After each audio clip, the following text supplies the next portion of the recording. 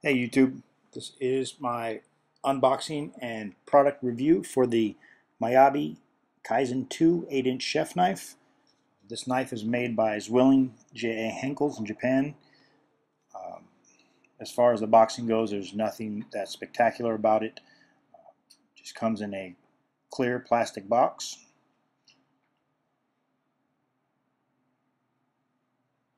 When you remove the outer plastic, the knife is within a um, just cardboard boxing. Uh, I do apologize that I had to do a voiceover for this.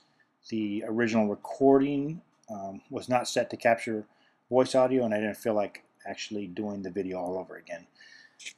Now, if you take a look at the blade, you can see that it is uh, has a Damascus layered steel there. The core is a steel called FC61. It may be a proprietary type of steel that Miyabi um, has created. I do know that the previous version was uh, VG10, which is an excellent, excellent steel.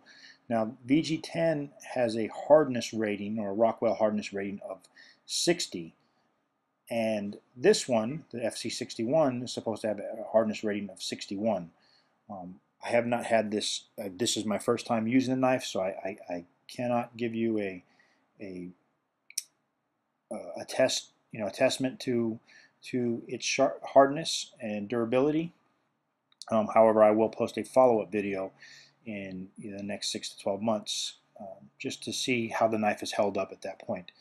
The blade is a is a flat ground um, with a beveled edge. It does not have a chisel grind like most um, Japanese knives. However, it is extremely sharp. It uh, each knife or each one of these Kaizen um, knives are actually hand sharpened before um, being packaged, and it's sharpened at a 9 to 12 degree angle, which is uh, very very sharp. It um, I believe that most knives, um, ones that are actually sharpened in the factory, probably come out around a 20 plus degree bevel. Um, so for this to get down into the single digits is, is uh, pretty uh, extraordinary. Now as far as the handle goes, um, it has a really nice feel in hand, um, good weight and uh, balance to the blade or to the knife. Um, now from the reviews I've read on the previous version, the knife was a little bit, the handle was a little bit thicker. Um, I, I have not held that knife, so I don't know what um, it feels like in hand, but this one feels really good. Now, as far as sharpness, I know that the paper cutting test is not a, a great um, representation of necessarily of, of, how well the knife cuts things you're actually going to cut with it. Um, however, a lot of people like to see just how easily it does slice that paper.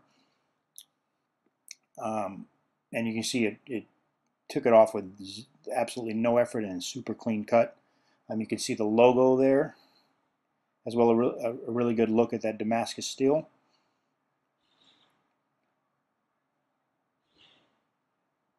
And um, yeah, I mean, so far I really enjoy the knife. Um, I also picked up just a really cheap bamboo cutting cutting board there. Um, got it on Amazon for I think $18. We'll see how that holds up over the next couple months. And uh, maybe I'll, I'll do a little short review if it's not good or if it is good to, to let you know how, how it works out. But um, yeah, I'm really, uh, I really appreciate uh, this knife, getting this knife as a gift. And I'm really hoping to, you know, that it can hold up and stand up to the test of time. And, uh, that does it for my product review of the Miyabi Kaizen 2 8-inch chef knife. Um, if you enjoyed the video, please hit that like button and or share. Um, also, if you have any comments or questions, feel free to add them to the comment section below. And uh, hope you all have a great day. I hope to see you again soon.